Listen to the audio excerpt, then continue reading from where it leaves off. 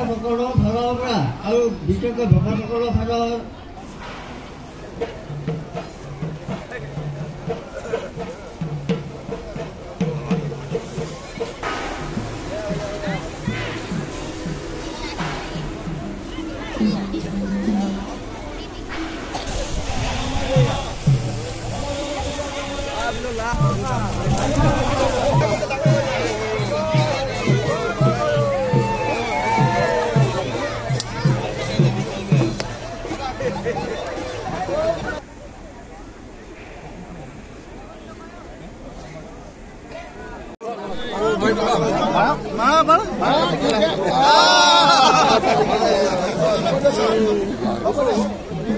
অসমৰ ৰাইজক সেৱা জনাইছোঁ শুভেচ্ছা জনাইছোঁ আৰু জ্যেষ্ঠসকলৰ শ্ৰীচৰণত মূৰ দুৱাই সকলোৰে আশীৰ্বাদ বিচাৰিছোঁ।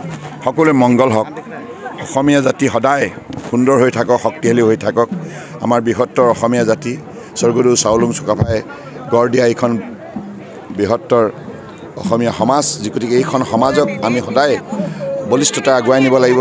কৃষ্টি সংস্কৃতি সামাজিক পৰম্পৰা অটুট ৰাখি আৰু আজি গৰু বিহু এই গৰু বিহুৰ দিনাত আমি সকলোৱে মিলিতভাৱে গৰু গা ধুৱালোঁ আৰু যিটো আমাৰ পূৰ্বপুৰুষে প্ৰতিষ্ঠা কৰা পৰম্পৰা অনুযায়ী আমি এই গোটেইখিনি নিয়মখিনি পালন কৰিলোঁ।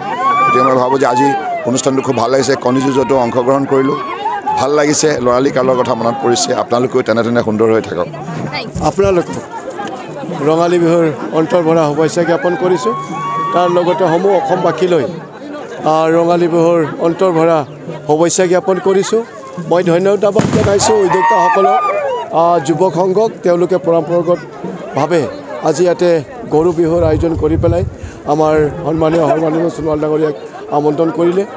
আৰু মই আশা কৰিছোঁ এই ৰঙালী বিহুৰ জৰিয়তে বিভিন্ন জাতি জনগোষ্ঠী বিভিন্ন ধৰ্মাৱলম্বী লোকৰ মাজত আমাৰ সমন্বয় আমাৰ একতা অধিক শক্তিশালী হ'ব আৰু এনেদৰে এখন সৰ্বসুন্দৰ সমাজ নিৰ্মাণ হ'ব যিখন সমাজে অসমখনক ভাৰতৰ বুকুত শক্তিশালীভাৱে আগুৱাই লৈ যোৱাৰ ক্ষেত্ৰত মুখ্য ভূমিকা পালন কৰিব।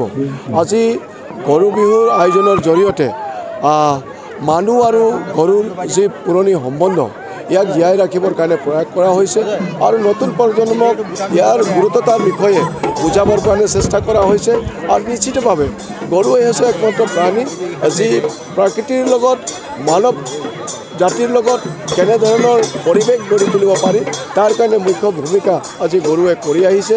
গৰুৰ প্ৰত্যেকটো সম্পত্তি আজি মানৱ জাতিৰ কাৰণে অতি পৰি প্ৰয়োজনীয় আছে। গতিকে এনেধৰণৰ আয়োজনবিলাকে ভৱিষ্যত দিনবিলাকতো আমাৰ সুন্দৰ পৰিৱেশ লগতে সুন্দৰ এখন সমাজ নিৰ্মাণ কৰাৰ ক্ষেত্ৰত যথেষ্ট সহায় হ'ব।